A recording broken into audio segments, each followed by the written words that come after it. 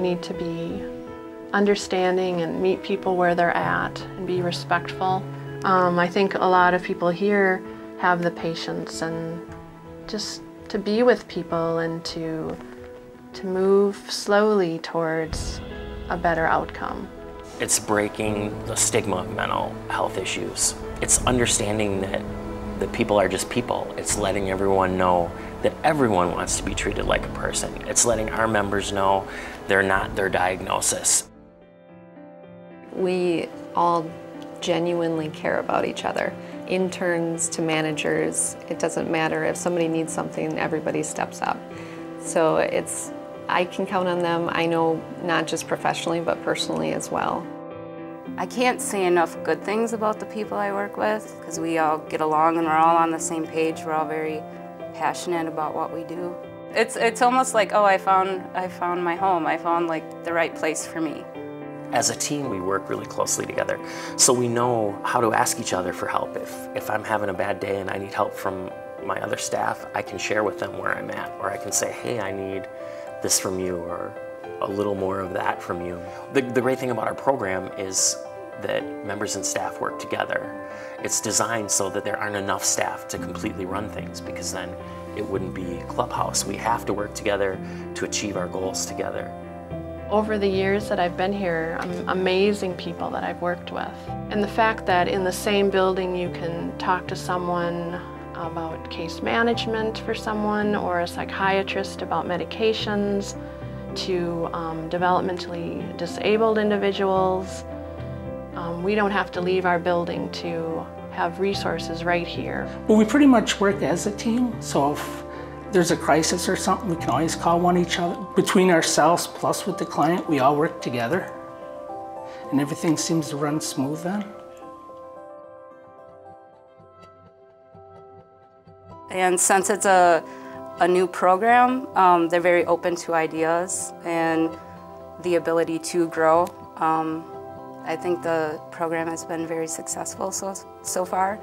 I've never loved a job like, like this before. Um, you know, it's kind of cliche, but working at North Central Healthcare, it's not just rewarding, it's inspiring. Um, what we do really matters, you know, to the people we serve and to the community as a whole. I'm here to serve them. The joy that comes from that. Some people think strange, oh, you have to get away from job. Yeah, I do, but still I'm enjoying it. So the best part of my job is I'm getting paid for something I enjoy. you know, the other piece of not just the approaches to dementia care is the culture piece.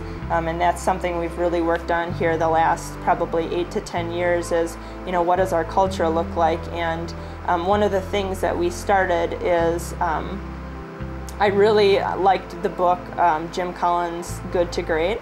So we took his bus analogy and we applied it to everything and we do here on the legacies units. Like the recreational CNA, it was people who were, you know, just outgoing and bubbly and they were great CNAs, but then when you put them in activities, it was like they just flourished. Or our spa program, so they're spa CNAs, but it was people who you know you knew them when you saw them come in the door. They were always the girls with the makeup and their hair was done even if they had to get up at 4.30 and do it.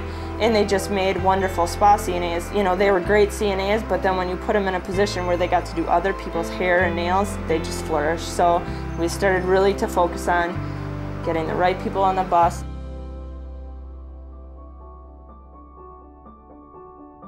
To me that's important you know that people can live on their own and do what they basically want. Because I'm there for them, you know, make them happy, make them, make their lives easier. And plus it makes me happy if they're happy. Every day I come and residents are looking forward to spend some time with me. When I'm not here, they say, how come you are not here? Or when I'm gone, I feel like I want to be here. And when I want to punch out, I want to leave work, I don't really want to leave. I enjoy being with them too.